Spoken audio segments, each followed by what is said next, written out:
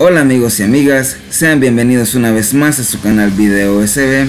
En esta oportunidad nos encontramos en la ciudad de San Miguel para poder disfrutar de la inauguración del árbol más grande de la ciudad y de toda la zona oriental de El Salvador.